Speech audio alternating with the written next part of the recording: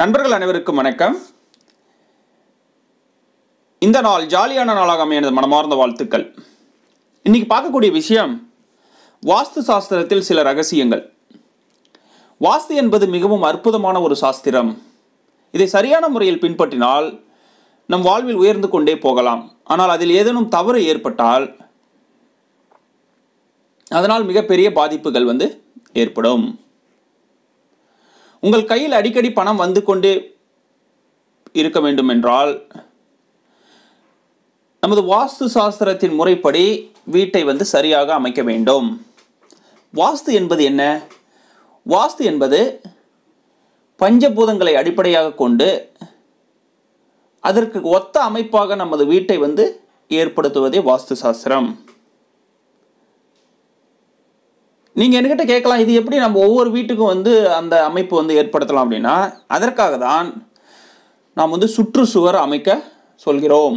இப்போ நீங்கள் சுற்றுச்சுவர் அமைத்திட்டீங்கன்னா உங்கள் வீடு வந்து பார்த்தீங்கன்னா அந்த திசைகளுக்கு ஏற்ப வேலை செய்யும். சுற்றுச்சுவர் இல்லை என்றால் பக்கத்து வீட்டில் இருக்கக்கூடிய அந்த பாதிப்புகள் வந்து உங்கள் வீட்டையும் பாதிக்கும்.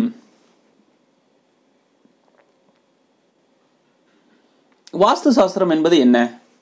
வாஸ்து என்பது உயிரற்ற பொருட்களான மணல் செங்கல் சிமெண்ட் இது போன்ற பொருட்களை கொண்டு வீடை கட்டி அதுக்கு உயிரோட்டம் கொடுப்பதே வாஸ்து சாஸ்திரம் இயற்கையோடு ஒத்து வாழ்வதே வாஸ்து சாஸ்திரம் இதில் நீங்கள் புதிதாக வீடு கட்டுறீங்கன்னா ரொம்ப எளிமையாக நம்ம வாஸ்து சாஸ்திர வழிமுறைகளை வந்து கடைபிடிக்கலாம் அதனால் உங்களுக்கு வந்து ந- மிகப்பெரிய நற்பலன்கள் வந்து ஏற்படும். வாஸ்து சாஸ்திரத்தில் பொதுவாக பார்த்தீங்கன்னா அடிப்படை விதிகள்னு இருக்குது அந்த அடிப்படை விதிகளை வந்து நம்ம சரியான முறையில் நம்ம வீட்டில் வந்து கடைபிடிக்க வேண்டும். ஒரு மனையை தேர்வு செய்வதற்கு முன்னாலே நம்ம அந்த அடிப்படை விதிகளை வந்து சரியான முறையில் கடைபிடித்து மனையை வந்து தேர்வு செய்ய வேண்டும். இது ரொம்ப முக்கியமான விஷயம். மக்கள்கிட்ட வந்து பார்த்திங்கன்னா நிறைய விழிப்புணர்வு இல்லை. மனையை வாங்கிட்டு அதுக்கப்புறம் வாஸ்துப்படி வீடு கட்டலாம் அப்படின்னு சொல்கிறாங்க ஆனால் மனைக்கு தான் வந்து பார்த்தீங்கன்னா அறுபதுலேருந்து எழுபது பர்சன்டேஜ் வாஸ்து வந்து பொருந்தும். மனை நீங்கள் சரியான மனையை வாங்கிட்டீங்கன்னா அதில் வந்து நம்ம வாஸ்துப்படி வீடு கட்டுவது மிகவும் எளிது. இப்போ உதாரணத்திற்கு நீங்கள் ஒரு மனை வாங்குறீங்கன்னா அதில் ஏதாவது தவறான தெருக்கூத்துகள் இருந்து நீங்கள் அந்த மனையை வாங்கியிருந்தீங்கன்னா நிச்சயமாக அதில் வீடு கட்ட முடியாது. அதனால் ஒரு மனை வந்து பார்த்தீங்கன்னா தேர்வு செய்கிறதுக்கு முன்னாடியே அது வாஸ்துப்படி இருக்கா அப்படின்றத ஒரு வாஸ்து நிபுணரிடம் ஆலோசனை எடுத்துக்கோங்க.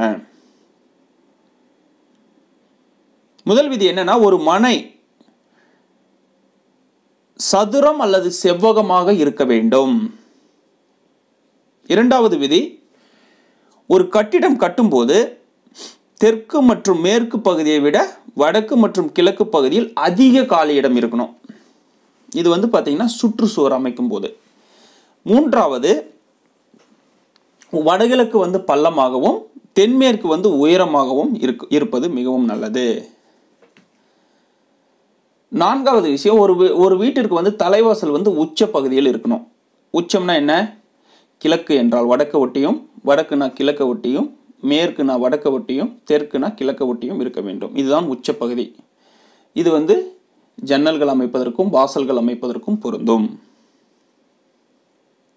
ஐந்தாவது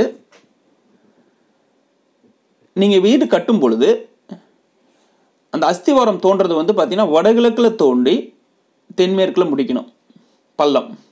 அதே மாதிரி வீடு கட்டும்போது தென்மேற்கு பகுதியில் நீங்கள் வீடு கட்ட தொடங்கணும். ஆறாவது விஷயம் பார்த்தீங்கன்னா நீங்கள் வீடு கட்ட முடிவு பண்ணிட்டீங்க. அதில் வந்து நீங்கள் சரியாக நான்கு மூலைகளும் வந்து பார்த்தீங்கன்னா தொண்ணூறு டிகிரி அமைக்க வேண்டும். இது ரொம்ப முக்கியமான விஷயம். நீங்கள் அந்த மாதிரி அமைக்கல அப்படின்னா ஏதோ ஒரு மூளை வந்து இழுத்துவிடும் ஆறாவது விஷயம் இப்போ நீங்கள் ஒரு மனை வாங்குறீங்கன்னா அதில் தெருக்கூத்து தெரு பார்வை இருக்கா அப்படின்றத நீங்கள் சரியாக செக் பண்ணிக்கோங்க. ஏழு. படிக்கட்டு வந்து பார்த்தீங்கன்னா சரியான இடத்துல வந்து அமைக்கணும். எட்டாவது தண்ணீர் தொட்டி வந்து வடகிழக்கு பகுதியில் மட்டும்தான் வர வேண்டும். ஒன்பது கழிவுநீர் தொட்டி செப்டி டேங்க் வந்து பார்த்தீங்கன்னா வடமேற்கு பகுதியில் மட்டும்தான் வர வேண்டும். பத்து ஒரு வீட்டிற்கு வந்து நிச்சயமாக சுற்றுச்சுவர் வந்து ஹண்ட்ரட் பர்சன்டேஜ் அவசியம். சுற்றுச்சுவர் இல்லாமல் வீடு கட்டுவது கட்டுவதனால் வாஸ்துவில் வந்து அனைத்து பலன்களும் உங்களால் உங்களுக்கு கிடைக்காது. அதனால் காம்பவுண்ட் சுவர் வந்து ரொம்ப ரொம்ப முக்கியமான விஷயம். அது கட்டும் பொழுது வந்து பார்த்திங்கன்னா சதுரம் அல்லது செவ்வகமாக இருக்க வேண்டும். நான்கு மூலைகளும் தொண்ணூறு டிகிரி இருக்க வேண்டும். இது ரொம்ப முக்கியமான விஷயம். பதினொன்று பூஜை அறை வந்து பார்த்திங்கன்னா வடகிழக்கு தென்மேற்கில் கண்டிப்பாக வரக்கூடாது. மற்ற பகுதியில் நீங்கள் வைத்துக்கொள்ளலாம் பன்னிரெண்டு போர்டிகோ வந்து நீங்கள் அது வந்து பில்லர் போட்டு அமைக்கக்கூடாது. அதுக்குன்னு ஒரு முறை இருக்குது கேண்டிலிவர் டைப்பில் தான் அமைக்கணும். பனிரெண்டு இப்போ வந்து எல்லாருமே வந்து பொதுவாக ஜென்ரலாக என்கிட்ட கேட்குறது பார்த்தீங்கன்னா கார் பார்க்கிங்கோட வேணும்னு கேட்குறாங்க கார் பார்க்கிங் என்பது வடமேற்கிலோ அல்லது தென்கிழக்கிலோ அமைத்து கொள்ளலாம். அது வந்து நீங்கள் வீட்டை ஒட்டாமல் நீங்கள் அமைக்கணும். ஸோ இந்த விஷயங்கள் நீங்கள் சரியாக கடைபிடித்துட்டீங்கன்னா வாழ்வில் வாழ்வில் வந்து பிரம்மாண்டமான வெற்றியை அடையலாம். மிக்க நன்றி. வாழ்க வளமுடன். வளர்க விவசாயம். எல்லோரும் எல்லா புகழும் பெற்று வளமுடன் வாழ வாழ்த்துகின்றேன். நன்றி.